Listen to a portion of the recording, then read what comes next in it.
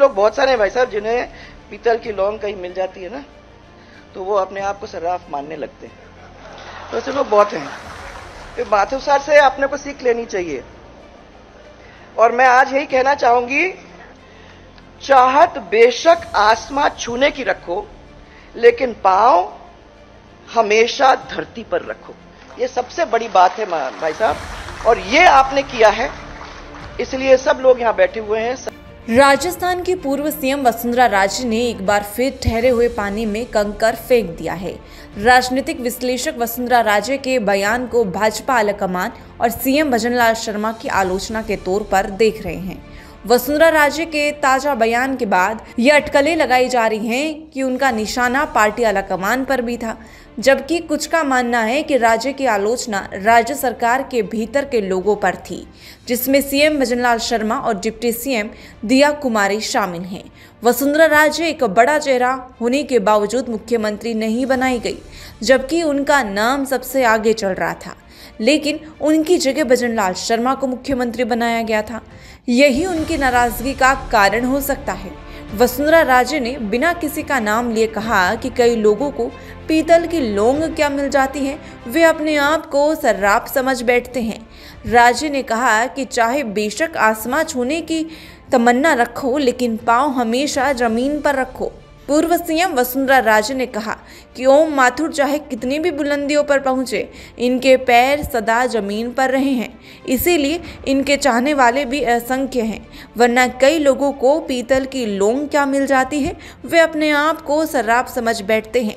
उन्होंने कहा कि माथुर से ऐसे कई लोगों से सीख लेनी चाहिए चाहत बेशक आसमां छूने की रखो, लेकिन पाँव हमेशा ज़मीन पर रखो। तो चलिए सुनवाते हैं आपको किस तरह से वसुंधरा राजे ने तीखा निशाना साधा है। जाए, ये ज़मीन नहीं खिसकनी चाहिए अपने पैरों के नीचे से। अपने को अपना कांटेक्ट अपने कार्यकर्ताओं से। अपने बहुत सारे लोग जो हमारे प्रशंसक हैं, हमारा साथ देते हैं, उनके साथ जुड़े रहने से आज ये हॉल भरा है। इसी वजह से क्योंकि आपने अपने पैरों को धरातल पे रखने का काम किया है और ये असंख्य लोग, बहुत सारे लोग जो यहाँ बैठे हुए हैं, वो इसी की वजह से बैठे हुए हैं। नहीं तो क्या होता है भाई साहब? ऐसे लोग बहुत सारे हैं। ऐसे लोग बहुत सारे हैं भाई साहब, जिन्हें पीतल की लौंग कहीं मिल जाती है ना तो वो अपने आप को सर्राफ मानने लगते हैं। तो ऐसे लोग बहुत हैं। तो सर से अपने को सीख लेनी चाहिए। और मैं आज यही कहना चाहूँगी कि चाह, चाहत बेशक आसमां छूने की रखो। चाहत बेशक आसमां छूने की रखो, लेकिन पाँव हमेशा धरती पर रखो। ये सबसे बड़ी बात है भाई साहब। और ये आपने किया है।